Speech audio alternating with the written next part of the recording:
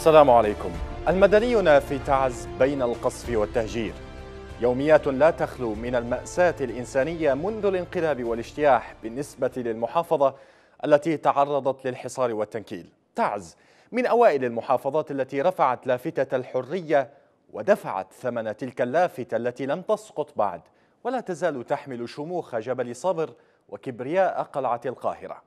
الريف في تعز كان عرضة للاجتياح البربري خصوصا في جبل حبش والوازعية من بلاد الوافي إلى قرية العفيرة التي تشهد تهجيرا ونزوحا كبيرين.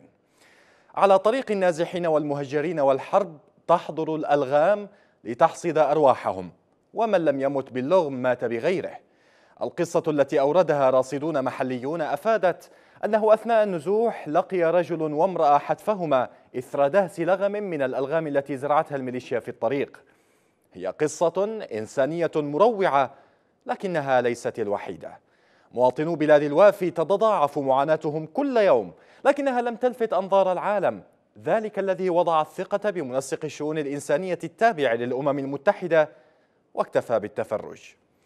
ضعف مواقف المنظمات والحقوقية المحلية والدولية. إزاء ما يتعرض له المدنيون في تعز يضعنا أمام حالة من ازدواجية المعايير في التعامل مع حقوق الإنسان والانتقائية التي تبدو تعز أكبر ضحاياها. حول المدنيين في تعز ستكون حلقة المساء اليمني لهذه الليلة. قبل أن نبدأ النقاش مع ضيوفنا نتابع وإياكم مشاهدينا هذا التقرير. نسيم إسماعيل غالب أم لخمسة أولاد يقطنون قرية الرحبة بتعز قبل أن تجبرهم ميليشيا الحوثي على الخروج من منزلهم قامت بتلغيم محيط القرية لتنال نسيم وأخوها عبد الله حتفهم أثناء نزوحهم من القرية.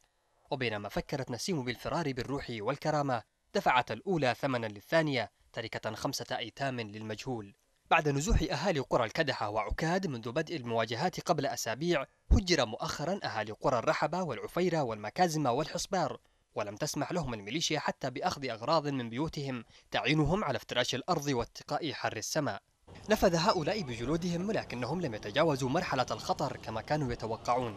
إذ تعرضت حافلة تقل نازحين لانفجار لغم بها ما أسفر عن مقتل سائق الحافلة وإصابة خمس نساء وطفلين. تعرض الميليشيا لأبناء تعز خيارات الموت المتعددة. تخيرهم بين الموت والإعاقة والإصابة أو انعدام سبل الحياة التي لا تقل وقعا عن الخيارات السابقة. مدني تعز بين القصف العشوائي والتهجير القسري من جهة وخذلان السلطة المحلية من جهة أخرى. إذ قال مصدر محلي لبلقيس إن السلطة المحلية لم تحرك ساكنا إزاء ما يحدث. لم يفتحوا المدارس أو ينظموا أي مخيمات إيوائية للمهجرين قسرا. المنظمات الدولية هي الأخرى لا تفضل أن ترى تعز لا من باب الإغاثة الإنسانية وإيواء النازحين الذين بلغوا الآلاف ولا من باب التقارير الحقوقية التي تنصفهم من القتلة وزارع الألغام. الضحية هؤلاء المدنيون الذين تذوي أناتهم بين جدران أربعة دون صدى ولا مغيث. أجدد الترحيب بكم مشاهدينا الكرام وأرحب بضيفي عبر السكايب من القاهرة وضاح اليمن عبد القادر الناشط السياسي. ينضم إلينا. أهلا بك أستاذ وضاح.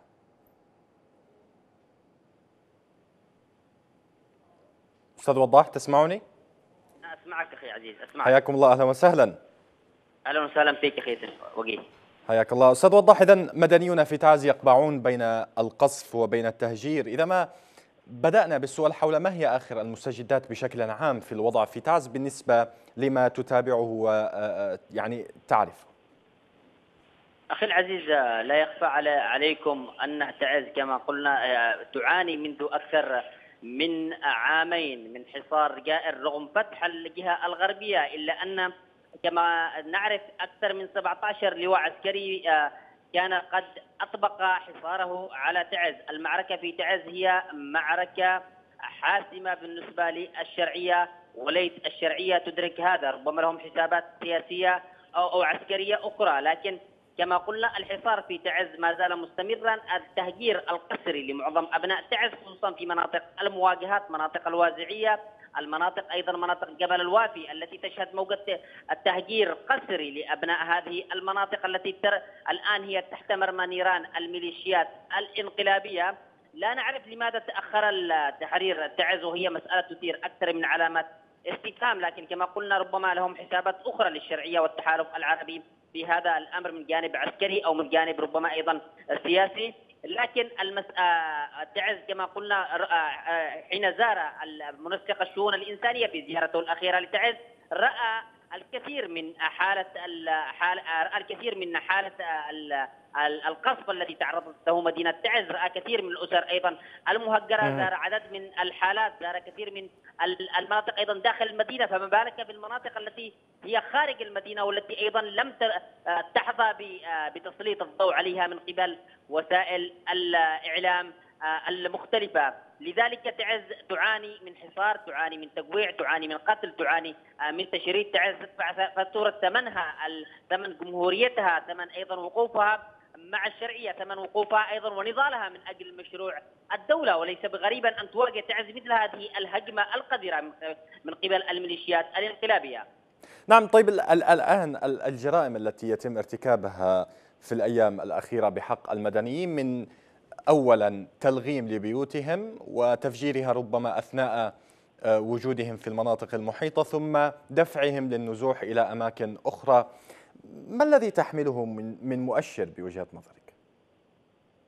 أخي وجيه الجرائم التي ارتكبت بحق أبناء تعز كما ارتكبت أيضا في بعض المحافظات الأخرى ولكن ربما يكون لتعز النصيب الأكبر من هذه الجرائم هي جرائم آه، لا تسقط بالتقادم ولا يمكن التنازل عنها تحت نعم. مسمى أي تسوية سياسية قادمة، لذلك كثير من المنظمات المحلية وكثير من المنظمات الدوليه العاملة في مجال رصد هذه الانتهاكات كانت قد رصدت هذه الانتهاكات، كانت قد قدمت هذه الانتهاكات إلى مجلس حقوق الإنسان في اجتماعاته السابقة في شهر في شهر مارس المنصرم، أيضا آه، تم تجهيز عدد من الملفات التي تدين مثل هذه الجرائم التي ارتكبتها هذه الميليشيات. أبناء تعز أيضا ليس المدنيين بقدر أيضا الإعلاميين الناشطين في مختلف المجالات يعانوا من قمع وآخرها أيضا الحكم الإعدام الذي صدر بحق ابن تعز المناضل الأستاذ يحيى الصحفي الكبير الأستاذ يحيى القبيحي. لذلك كل هذه الجرائم هي محل رصد ومحل موجودة بأرقام موجودة أيضا بكشوفات موجودة بتوثيق فوتوغرافي وتوثيق مرئي. لذلك لن تسقط هذه الجرائم بالتقادم حتى في حال وجود أي تسوية سياسية من قبل المجتمع الدولي. طيب هذا الأمر مفهوم لكن آه، سياسيا آه، إلى ما تهدف الميليشيات بقيامها بهذا النوع من الأفعال خصوصا وأنها على يعني أصعدة أخرى ربما عسكريا فقدت الكثير من المناطق القريبة من هذه المديريات. أخي العزيز الميليشيات تراهن على أشياء كثيرة. مثلا آه لنأخذ تأخر في مسألة الحزم العسكري كما قلنا ربما لأمور سياسية أو ربما لأمور عسكرية. أيضا تراها الشرعية ويراها التحالف العربي. تراهن الميليشيات على أن طول هذا الوقت بهذه الجرائم التي ترتكبها ضد أبناء تعز المدنيين العزل ضد الناشطين ضد الإعلاميين. أيضا تأخر مسألة الرواتب وحل مسألة الرواتب من قبل الحكومة الشرعية في المناطق المحررة وبالذات في محافظة تعز. تحاول هذه الميليشيات بارتكابها مثل هذه الجرائم أن تثني عزيمة أبناء تعز على عن عن مواصلة وقوفهم بصف الشرعية وهي بذلك بهذه الجرائم. أيضا لن تزيد أبناء تعز إلا اصرارا على إنهاء على على الوقوف أيضا في صف الدولة في صف القانون في صف في في في إيجاد مشروع الدولة الاتحادية الضامنة لكل اليمنيين. هي تحاول بهذه الهجمة أيضا الشرسة أن أن أن تجعل من المواطن البسيط أيضا أن ينتفض في وجه الشرعية. لكن كما قلنا ال ال الإنسان آه، في آه، في تعز أو الانسان اليمني في تعز قدم كثير من التضحيات وهو على استعداد أيضا أن يقدم الكثير من التضحيات. طيب في هذه النقطة أستاذ وضاح في هذه النقطة هل شهد الإنسان اليمني مثل هكذا جرائم سابقا؟ يعني أقصد جريمة مثل تفخيخ منزل ثم تفجيره ثم إجبار أهل والساكنين فيه إلى النزوح إلى مناطق أخرى ومديريات أخرى والبقاء فيها. بهذا المستوى من انعدام الرعاية والخدمات هناك. أخي العزيز لو أتينا إلى إلى تاريخ الإمامة منذ دخولها إلى اليمن وهي صعدة تقريبا في في في في في القرون الأولى تقريبا في مع دخول القاسم الرسي إلى محافظة صعدة اتيا أيضا من من إيران في ذلك التوقيت وادعاه أيضا أنهم تحت مسمى آل البيت. هي هو تاريخ دموي معروف لدى اليمنيين. لكن في التاريخ الحديث وأيضا التاريخ القديم إذا ما نظرنا إلى حجم الميليشيا الجرائم التي ارتكبت هذه الميليشيات ربما اليمن لن يشهد إلى ما ما قبل 2000 إلى آه، إلى الخلف وأيضا ربما 2000 إلى الأمام مثل هذه الجرائم التي ارتكبتها هذه الميليشيات. لكن يجب أن يعرف الشعب اليمني وأن يعيد قراءة التاريخ جيدا ليعرف حقيقة هذه الميليشيات الحقيقة التاريخية منذ عصور الإمامة على كثير من الأئمة الذين عملوا على إنهاء الدولة الرسولية التي كانت الدولة العلمية الرائدة على مستوى العالم الإسلامي وتآمروا على على على القضاء عليها والتي كانت عاصمتها تعز. سندرك حقيقة هذه الميليشيات أيضا الإجرامية والجرائم التي ارتكبتها على مختلف أئمتهم الذين عملوا على مبدأ الاصطفاء الإلهي وإبداء السلالة وكل نعم. هذه المزعومة.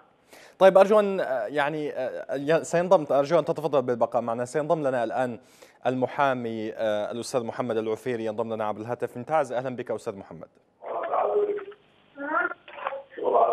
ألو السلام عليكم. وعليكم السلام ورحمة الله. أهلا بك أستاذ محمد.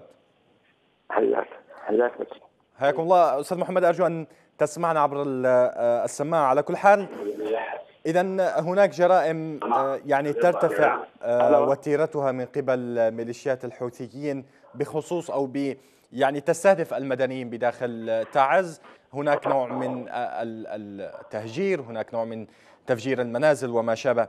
ما هي يعني ما هي مؤشرات ارتفاع حدة هذه الجرائم؟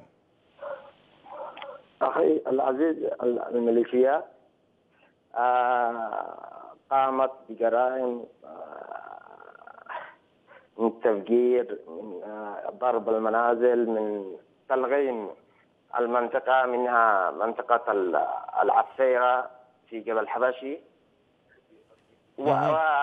وهجروا ساكنيها بالكامل قصرا. نعم. آه، وتقوم حاليا الميليشيات باجتياح المناطق الرحبة آه، عكاد آه، المكازمة بعد إن قامت بتهجير المواطنين والاستيطان فيها دون أي مراعاة للمواطن اليمني من آدميته قامت بزرع الألغام لاحظ الضحايا من فيها آه، قرابة آه، ثلاثة قتلى وعشرة مصابين بينهم نسوة. آه، دون أي اكتراث لذلك الجرم التي تقوم بها. الميليشيات. طيب. هجر أكثر من ثلاثون ألف نسمة من مناطق الكدحة والحفيرة وبقية قرى آه، حزبة الشراقة قبل حبشي. آه، نطالب آه، المجتمع الدولي السلطة المحلية الحكومة الشرعية بالنظر والمعالجة السريعة لأوضاع النازحين المهجرين من قبل الميليشيات كونهم يعتمدون على آه، كانوا يعتمدون على الرعي والزراعة. والآن آه، أغلبهم في العراق بعض الأسر تسكن بيت مكونة من أربع غرف آه، داخلها 14 أسرة إلى 15 أسرة. نطالب بمخيمات نطالب المنظمات الحقوقية والإغاثية بالنزول ودعم هؤلاء الناس آه، الذين يفترشون الأرض ويفتحون السماء دون آه، دون آه، أي نزول للجنة الإغاثة والمسؤولين والمنظمات لتقصي تلك حالات المواطنين النازحين قصرا من جراء جرائم الميليشيات. يعني حضرت حضرتك أنت بكل تأكيد متابع لهذا الوضع. هل هل من نزول لاي منظمة أم أن هناك غياب آه، بالنسبة لهذه المنظمات؟ تقول عن لجنة لجنة الإغاثة لكن منظمات أخرى هل تواجدت؟ آه، تتواجد آه، عدد الأصابع المنظمات. الا انها لا تفي بإحتياجات النازحين. كونهم كثافة منهم من يعطي لي 200 أسرة منهم من يعطي لي 300 آه، ما يوفر قوت أسبوع ثلاثة يوم. يعني لا يكفي ما, ما تقدمه بعض المنظمات. الناس بحاجة الوضع الإنساني كارثي في اليمن شامل وفي منطقة الشراقة والكدحة والعسيره بوجه الخصوص. كون نحن داخلين في حرب في السنة الثالثة الناس دون رواتب دون أي دخل آخر فالوضع مأساوي جدا. يعني يجب ان يكون هناك دور ل حكومة الحكومة الشرعية ممثلة برئيس الوزراء بنتق و رئيس اللجنة الإغاثية سواء في الوزارة عبد الرقيب فتح أو اللجنة الفرعية في محافظة تعز يجب أن تكون لها دور فعال والمبادرة قبل أن يرفع لها أي تقارير. بذلك الشأن. طيب. آه لأن الميليشيات عازمة إلى حظ جميع من بقوا من النازحين يتم آه التلغين في الأمس. تم انفجار لغم بأسرتين راح ضحيتها آه امرأة أم أم لخمسة أطفال وكذلك طفل آه آخر انتهى وخمسة وستة وأربعة إصابات منها حرجة.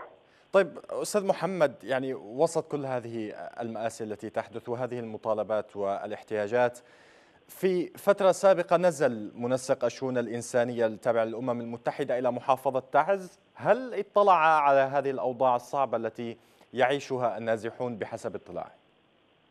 المندوب لم يصل وصل إلى مكتب طبعا التقى ببعض لم يصل لم يتطرق أو النزول الميداني إلى إلى النازحين والمخيمات لا أظن إنه قد قام بالتفتيش عن كل ذلك وإنما قد يكون ألتقى ببعض مدراء المنظمات التقاء شخصي في فندق في لا لم يتطرق لأحوال الناس لم يشوف احتياجاتهم ولم تدفع تقارير بكل صغيرة وكبيرة بذلك. طيب بشكل عام هل هناك يعني تحديد لحجم الاحتياجات الموجودة في هذه المناطق بالنسبة للنازحين؟ احتياجاتهم احتياج مادي، احتياج لتوفير سكن، احتياج إغاثي احتياجات أخرى يعني هناك كارثة نعم. كارثة يعني ارتكبتها الميليشيات بالذات تلغيم المنطقة وإجبارهم على النزوح القسري. يعني الأسرة أو الإنسان في بيته مسؤول. نعم أستاذ محمد. إذا أشكرك أستاذ محمد العفيري المحامي كنت معنا عبر الهاتف من تعز. أعود إلى الأستاذ وضاح اليمن عبد القادر معنا عبر السكايب من القاهرة. أستاذ وضاح لابد أنك سمعت ما الذي تفضل به أستاذ محمد. إذا الوضع صعب. ما هو التعليق الذي يمكن أن يكون على هذه الحالة؟ أخي العزيز دعنا نكون أكثر صراحة وأكثر شفافية. السلطة المحلية في محافظة تعز غائبة غياب كلي عن التواجد على الأرض. آه اللهم هناك بعض المحاولات من بعض الوكلاء المتواجدين في محافظة تعز ولكن اليد آه أصابع اليد الواحدة كما يقال لا تصفق.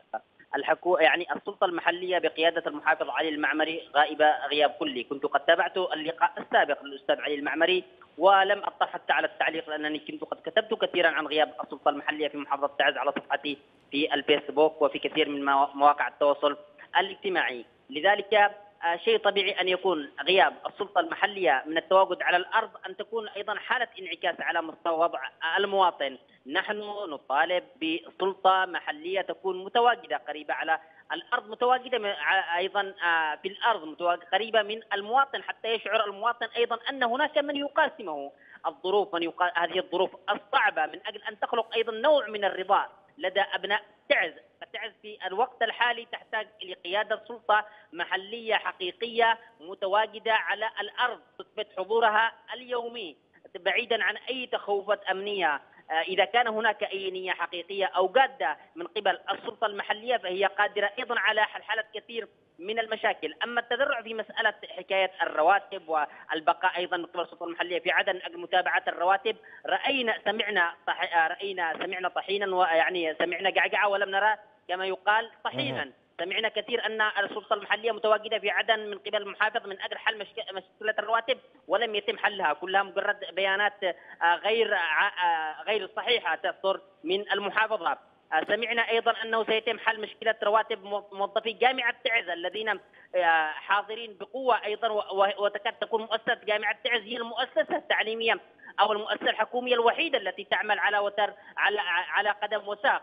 متواجدة لو رأيت الطلاب وهم يحضرون المحاضرات لو رأيت أيضا دكاترة الجامعة الذين منذ ثمانية أشهر لم يستلموا رواتبهم وهو وهي مسؤولية الحكومة الشرعية. اذا تعز تقاوم في كل الاتجاهات.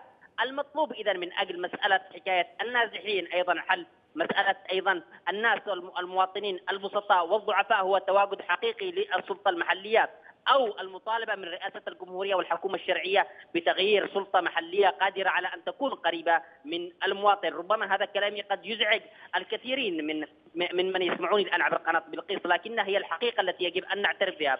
تعز تحتاج إلى سلطة محلية تكون قريبة من المواطنين بالذات، يمكن حل حالة مسألة أيضا توزيع المساعدات الغذائية يمكن أيضا إعادة النظر في حجم المساعدات المقدمة من قبل المنظمات ايجاد آلية واستراتيجية أيضا لعدد من الاختلالات التي تقوم على آه، من خلال توزيع هذه المساعدات الغذائية. استهداف بعض المناطق ربما لا تكون أقل ضررا من المناطق التي فعلا تستحق أي آه، مساعدة. لذلك لابد من تواجد السلطة المحلية أو تغيير سلطة محلية قادرة على إدارة المحافظة في هذه المرحلة الحرجه طيب أستاذ وضح دعنا نكمل هذا النقاش لكن قبل ذلك نذهب إلى فصل قصير. مشاهدينا تفضلوا بالبقاء.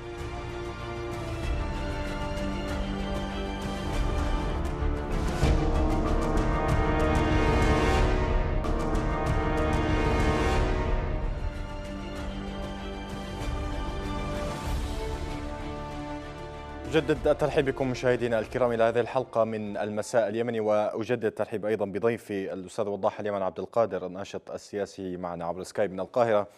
أستاذ وضاح هل من خصوصية معينة للمناطق والمديريات التي يتم فيها يعني إجبار الناس على الخروج من منازلهم وتهجيرهم ودفعهم إلى النزوح؟ هل من خصوصية يعني مديرية مثل جبل حبشي أو غيره؟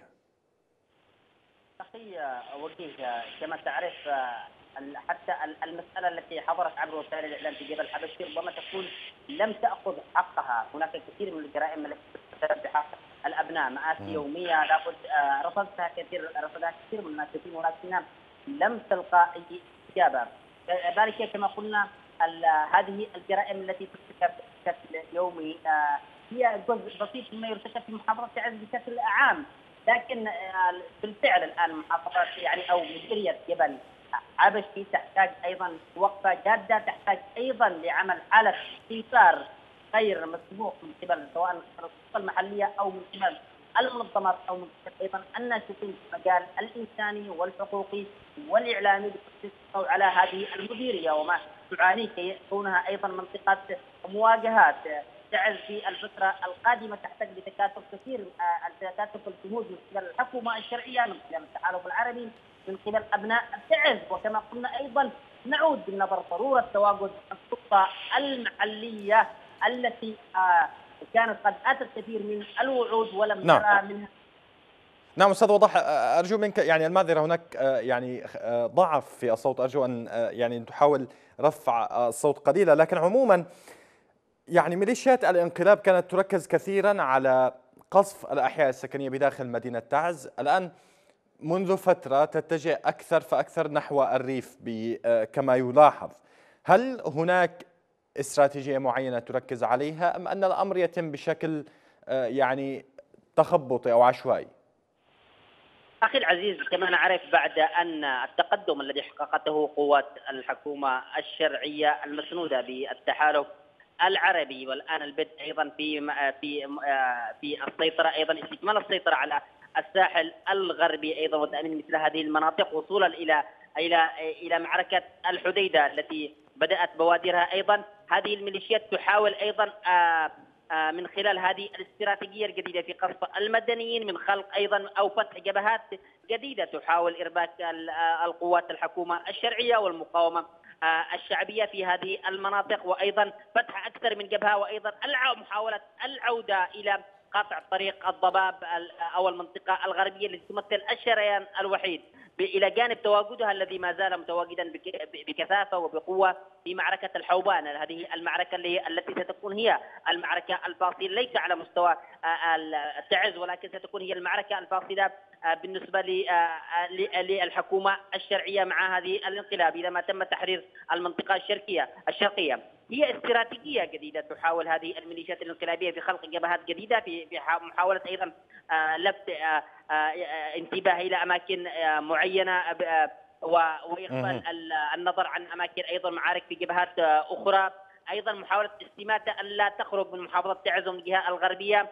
أيضا الا يتم قطع المنفذ الرئيسي الذي آه، الواصل ما بين محافظة الحديدة ومحافظة تعز منطقة البرح منطقة شمير آه، مقبنة وهي وهي الطريق الاستراتيجي التي تمثل طريق الإمداد لهذه الميليشيات الانقلابية.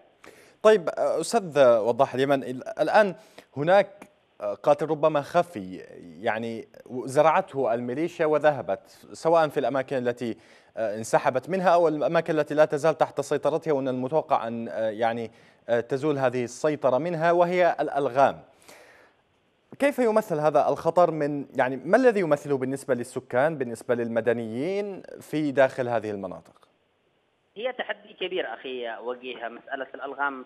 كما نعرف في آخر إحصائية كانت تمت قبل حوالي أقل من شهر بأن بالنسبة لمسألة الألغام وهذه الجريمة التي ترتكبها هذه الميليشيات الانقلابية والميليشيات المتمردة في وقت الدولة هي مسألة تحدي كبير، هناك كان محافظة تعز قد حصلت على النصيب الأكبر من هذه الألغام الفردية التي حصلت أرواح كثير من المواطنين وأدت أيضا إلى إلى إعاقات دائمة أيضا وإعاقات جزئية أو ربما إعاقات كلية في حق كثير من الواطنين وهي جريمه وكما يعني وكما شاهدنا أيضا كان هناك ممن نزحوا ممن انفجرت بهم ألغام على طريق نزوحهم أيضا.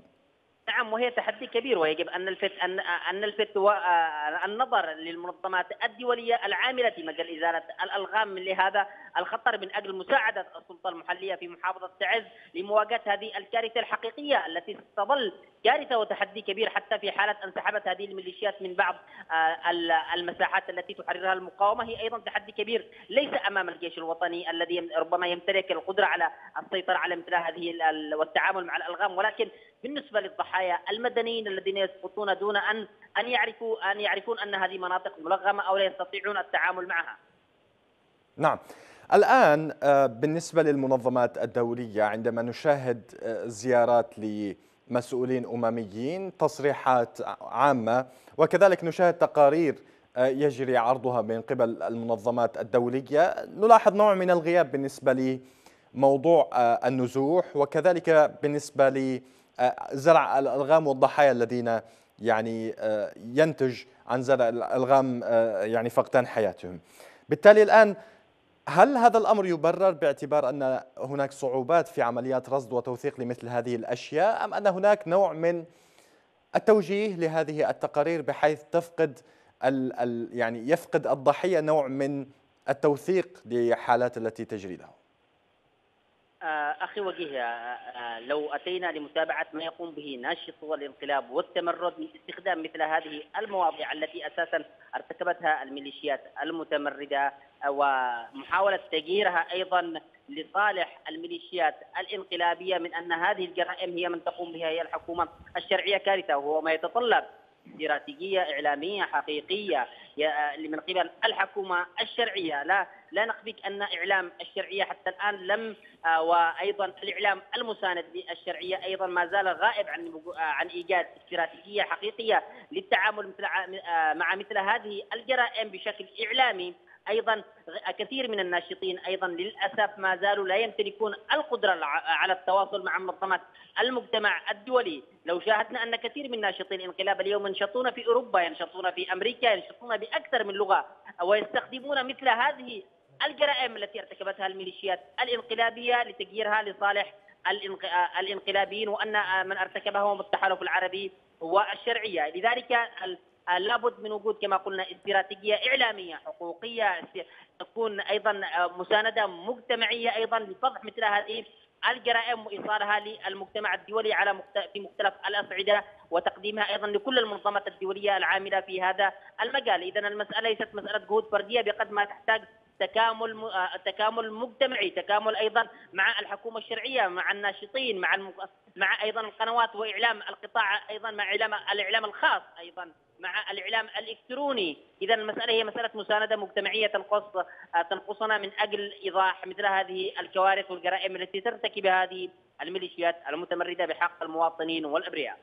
هو بطبيعة الحال أستاذ وضح نحن حاولنا التواصل مع آه، أفراد في السلطة المحلية لكن مع الأسف ليس هناك آه، رد بالنسبة لتواصلنا معهم لكن ينضم لنا الآن للنقاش الأستاذ ياسر المليك الناشط الحقوقي معنا عبر الهاتف من تعز أهلا بك أستاذ ياسر.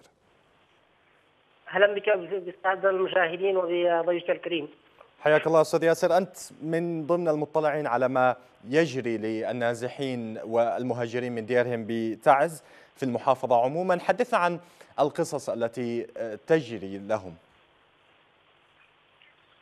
محافظة تعز تحديدا ومأساة النزوح أو التهجير وتحديدا الترحيل القسري الذي ترتكبه جماعة الحوثي وقوات صالح في آه، كثير من قرى وريف محافظة تعز أو في مدينتها سابقا هي مأساة قديمة ومتجددة آه، قديمة منذ بدأت جماعة الحوثي بالاستيلاء بمحاولة السيطرة والاستيلاء على مدينة تعز والمحافظة بشكل عام ومتجددة بتجدد النزاع المسلح في ريف الذي آه، تحول إلى ريف محافظة تعز وبالذات الريف الغربي لهذه المحافظة وتحديدا مديريات جبل حبشي والوازعيه والمعافر.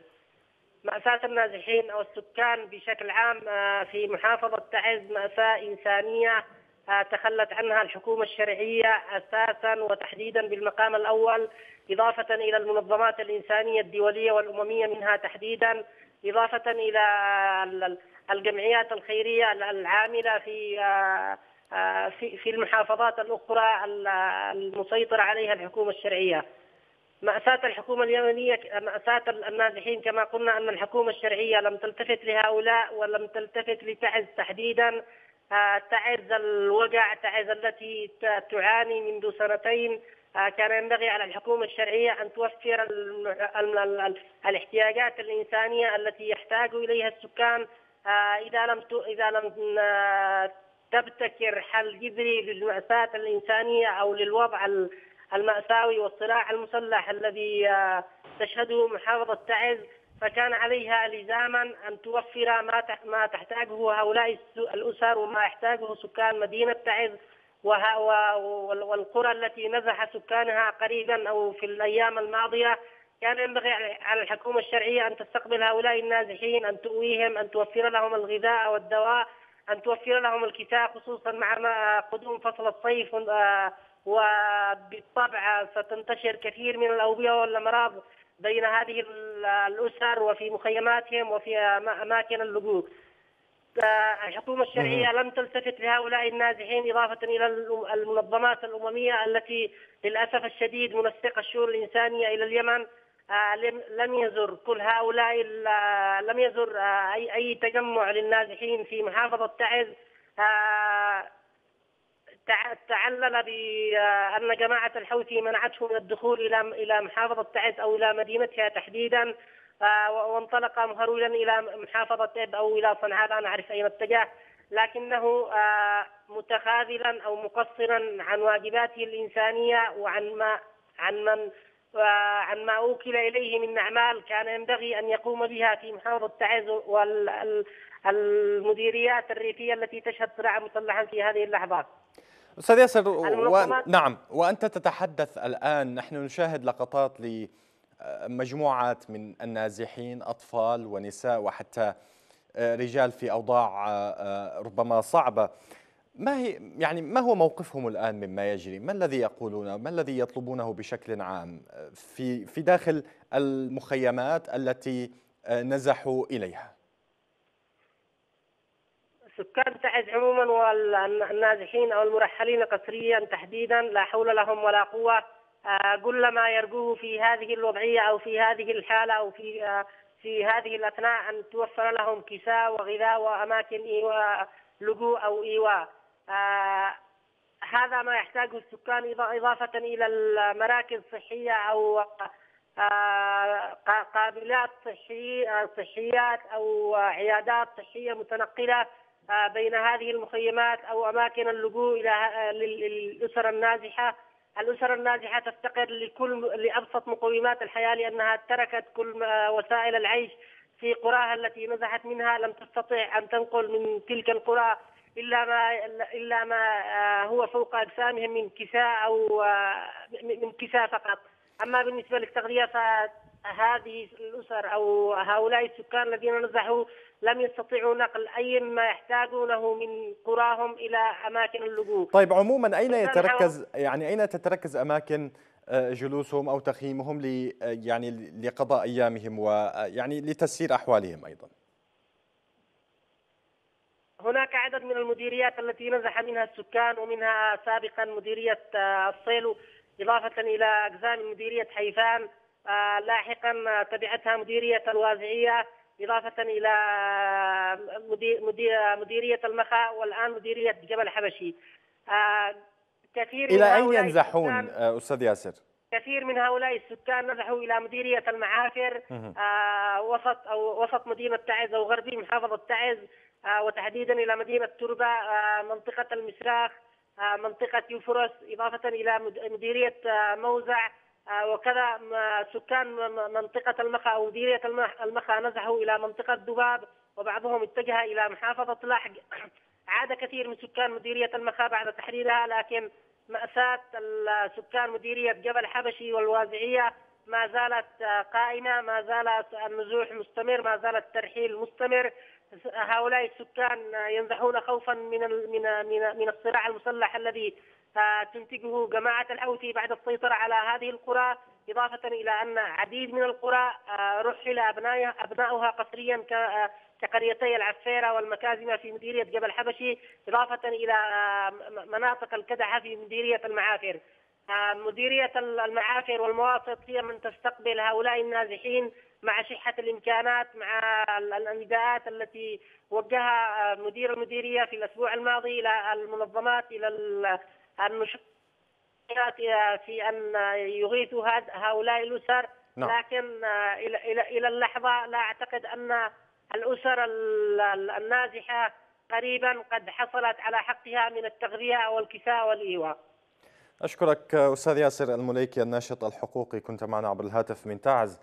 أعود إلى الاستاذ وضاح اليمن عبد القادر معنا عبر السكايب من القاهرة أستاذ وضاح الأوضاع هي صعبة بكل تأكيد. ما هي أولويات الناس النازحين الآن؟ ما الذي يجب أن يتم لهم أولا فأول حتى على الأقل تتخفف هذه المعاناة وتمشي حياتهم بالحد الذي يمكن أن تمشي فيه؟ أخي العزيز دعني أتطرق إلى نقطة واحدة ومهمة. تعز مثلما كانت المخزون البشري ثورة 26 سبتمبر و14 أكتوبر كانت أيضا المخزون المادي عبر رجال الأعمال. الذين كانوا آه، لقد لعبوا دورا كبيرا في حركة التحرر الوطني في فترة الأربعينيات من القرن المنصرم وصولا أيضا إلى ما بعد هذه الفترة. تعز لديها كثير من رجال الأعمال ولكن بحاجة إلى جهود حقيقية وواضحة آه، آه، تعز تحتاج إلى قيادة تتعامل مع رجال الأعمال من أجل أن يقوموا بمساعدة هؤلاء الناس. تعز فيها من رجال الأعمال ما يكفي أيضا لحلحلة مثل هذه الأمور لكنهم يحتاجوا رجال الأعمال في تعز لن يقصروا بأي شيء. مجموعة هير سعيد أنعم مجموعة عبد الجليل آه، آه، ردمان مجموعة أيضا إخوان ثابت وغيرها من المجموعات والبيوت التجارية آه، الحلوي مجموعة من البيوت التجارية العريقة التي أسهمت كما قلنا في رفض الحركة الوطنية في الدعم بالمال بالسلاح في فترة أربعية القرن المنصرم. لكنها بحاجة لوجود قيادة حقيقية للسلطة المحلية وصادقة وشفافة أيضا من أجل تشكيل مجلس إنقاذ لمحافظة تعز من أجل أيضا أن تسهم هذه الجهود أيضا أو ترتب هذه الجهود من أجل التعامل مع رجال الأعمال من أجل أن يدعموا أبناء هذه المحافظة. هذا هو كل فقط ما تحتاجه. هل نحن قادرين على إيجاد أو الحكومة الشرعية قادرة على إعادة ترتيب أولويات السلطة المحلية في محافظة تعز من أجل أيضا التواصل مع رجال الأعمال والفاعلين الخير من أبناء محافظة تعز من أجل حل حالة هذه الأمور والإسهام بالدعم المجتمعي. هذا هو السؤال الذي يطرح نفسه. إذا المسألة الآن في تعز هي مشكلة أزمة قيادة في السلطة المحلية قادرة على التعامل مع معطيات الأمور والمرحلة الراهنة بعيدا عن أي تبريرات من قبل السلطة المحلية أو الحكومة الشرعية. الناشط السياسي من القاهرة الأستاذ وضاح اليمن عبد القادر كنت معنا عبر السكايب من هناك. شكرا جزيلا لك. كما هو الشكر موصول لجميع الضيوف الذين كانوا معنا الأستاذ محمد الوفيري المحامي من تعز وكذلك ياسر المليكي الناشط الحقوقي من هناك. كما هو لكم مشاهدينا الكرام على حسن المتابعة والإنصات. في ختام هذه الحلقة تقبلوا تحياتي أنا وجيه السمان وتحيات الزملاء محمد المقبلي وأسامة القطيبي وجميع أفراد الطاقم الفني. إلى اللقاء.